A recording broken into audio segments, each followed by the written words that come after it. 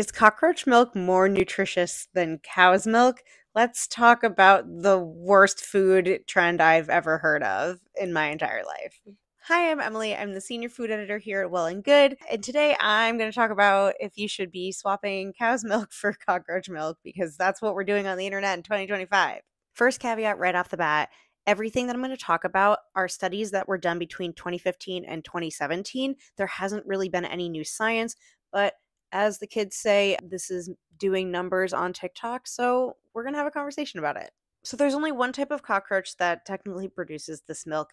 It is called the Pacific beetle cockroach. It's called that because it looks more like a beetle than a cockroach when it's adult, which is, you know, kind of refreshing, honestly.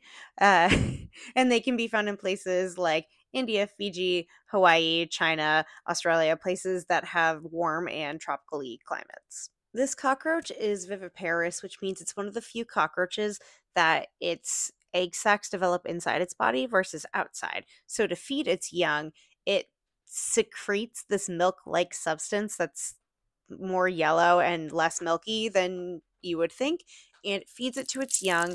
The young ingest it and it becomes these protein crystals, which are really, really good for their gross little cockroach bodies. So, the TLDR of these studies is that scientists have found this cockroach milk is more nutritiously and calorically dense than traditional cow's milk. That doesn't mean you have to switch. You don't have to have cockroach milk. It's not commercially available. It's not even a thing. They have just studied it and they have found it. So, uh, if you love plant based milk, please have that. If you love cow's milk, you can also have that. It really doesn't matter.